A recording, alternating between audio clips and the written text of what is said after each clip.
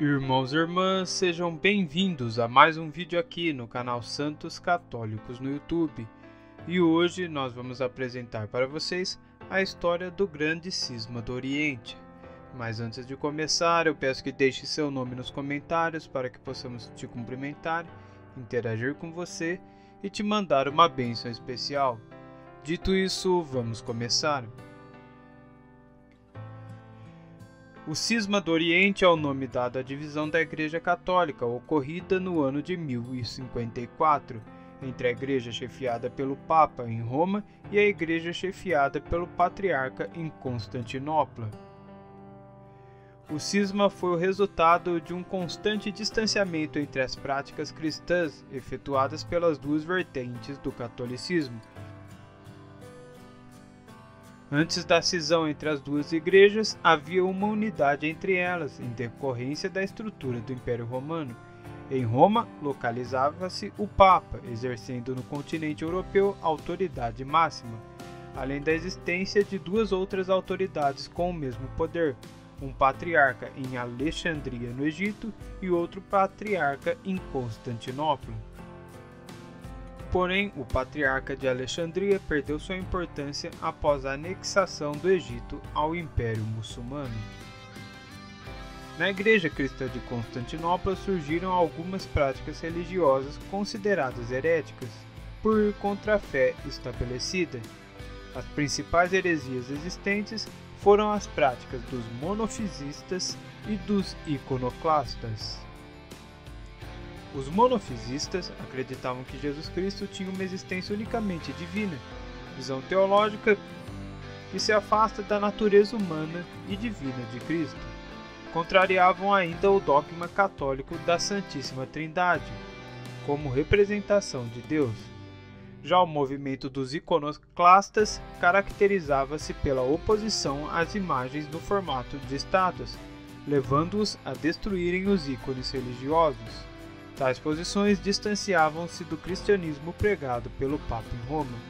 As heresias causavam instabilidade social em virtude da ação de seus divulgadores. Ao longo dos séculos, essas diferenças foram se acentuando, passando a ser consideradas como uma crise de autoridade sobre a verdade da crença cristã.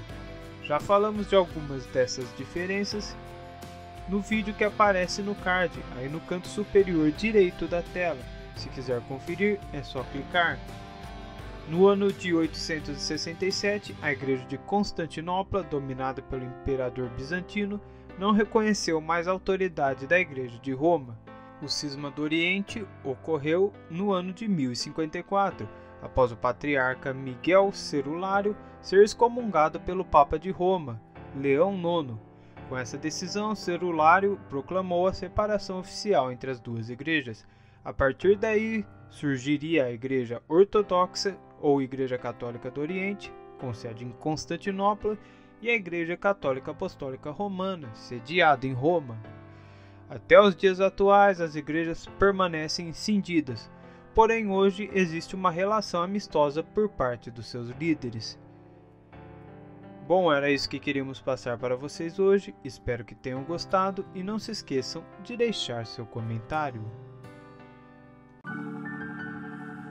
Muito obrigado por assistir este vídeo. Nós da Santos Católicos agradecemos muito e te presenteamos.